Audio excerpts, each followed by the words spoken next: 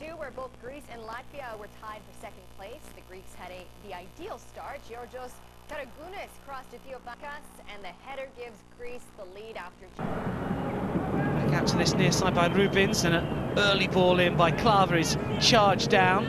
Torosidis sticking to his task. The clearance isn't great though. Opportunity for Kasper again, and he's still not away. And the overhead kick is in, and he's 1-1. It is that man, Maris Verpakovskis. What a strike! Four minutes.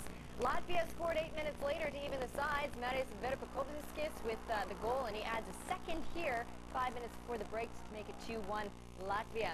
Shortly after the restart, Gekas equalized for Greece, converting a penalty kick after Oscar Klava down to Georgios Samaras. Ten minutes later, Vasilis Torosidis crosses in for Gekas, whose header completes a memorable hat trick. 3-2 Greece. And then Samaras gets in on the goal-scoring action with a rocket overhead kick to make it 4-2 Greece in the 73rd. Very nice. Gekas added a fifth in injury time, getting his head to a pass and, and following it up with his fourth goal of the night. After scoring only one goal in the past two rounds, Greece makes up for it with his 5-2 rout of Latvia. Two other matches from